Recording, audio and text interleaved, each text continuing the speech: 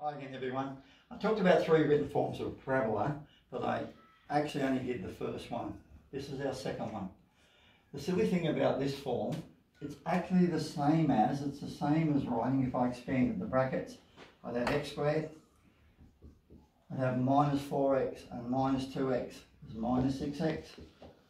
I'd have minus 2 by minus 4, which is plus 8. So really this is just one of those. But often when we give it to people in this form, people get mixed up and think, oh, it's a different question, I don't know what I'm doing.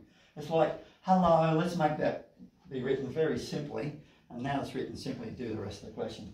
Same things as always, we're going to let x equal naught, and we're going to let y equal naught. And let's say you're not comfortable with either of those, we can learn it as a rule, and then later on sometimes you go, I now understand. Which one do I want to do first? I'm going to go x equal naught. So I'd have naught minus 2 times by naught, minus 4, should say. So what have we got now? Minus 2 times minus 4, which is minus 8. So the y-intercept is that. What did we put in? We put in the 0 for x. And we get a minus 8 for y. So that's if they say write it the coordinates form. Uh, often they'll say write it its coordinates. So there it is its coordinates. Shortcut for those who realise once you're comfortable is you can just go minus 2 by minus 4.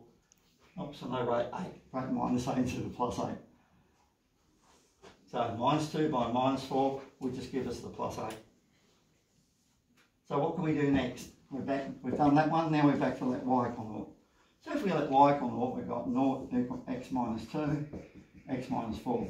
Now I say we're creatures of habit all the time. We usually fold our arms the same way. We normally do everything, put socks on in the same order. So on this one, we're back to let it equal naught. We've already got it, we don't need fractions, we've already got it factorised. So in this form, if we're creatures by, of habit, most people like to write that first. So it's equal naught. And now we can let x minus 2 equal naught. Why can we let that equal naught? Why do we want to let that equal naught? When you multiply two numbers that get zero, either the first one has to be zero or the second one has to be zero. You can actually get both of them to zero, different story when we're multiplying. But on this, if I add 2 to this side, add 2 to this side, so x equals 2. If I go back up to here, 2 take 2 would be 0. 0 times something would still be 0. So I'd have 2, 0. The other one, x minus 4 equals 0. So if I add 4 to that side, add 4 to that side, what have I got this time? I've got 4, 0. Now, the one that mucks most people up is where is the axis of symmetry? So we're now talking about the axis of symmetry.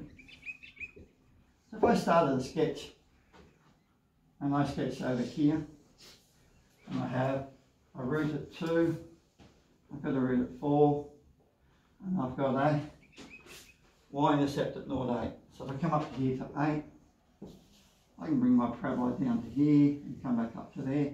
And there's my parabola. Of course, there's the x-axis and there is the y-axis. And I could have, been, could have been fussier and get that point there.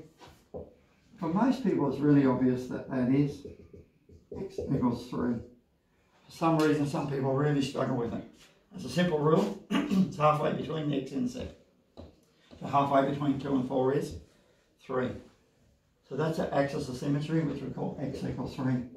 Now here's one method of getting the turning point. And of course we mean it could be a max or it could be a min. In this case, obviously it's a min. Coordinates of the min, the old substitute. Substitute x equals 3. In other words, where is the middle? It's somewhere above or below 3. In this case, it's going to be below 3. So I've got y equals, back to here, 3 minus 2 for the substitution. 3 minus 4. Now I've got y equals 1 times minus 1, and y equals minus 1. If you look at the graph there, it's pretty obvious that it's going to be there at minus 1. So I've got 3 and minus 1. One of the things I like to draw to people's attention is if they're apart by 2, that goes down by 1. If it was upside down and we had a maximum, if they're apart by 2, it goes up by 1. And this applies anywhere on any parabola as long as it's, these both say this says one and that's one and that's one. That's the simplest case of a parabola. Talk about when A equals one. So go back through the basics. You do your usual, that x equal naught, that y equal naught. That will give us the y-intercepts, the x-intercepts. How do we get the axis of symmetry? Halfway between 2 and 4. Easy to see on the diagram. Halfway between 2 and 4. So there's that equation, which is x equals 3. By the way, the equation is not just 3. The equation is x equals 3. How do you get the coordinates then of the min? In this case, a min or that turning point. Substitute the 3 back into the original equation, which is over here, and you end up with your coordinates of. We put in a 3 and we ended up with a minus 1. That's enough for now. Thanks.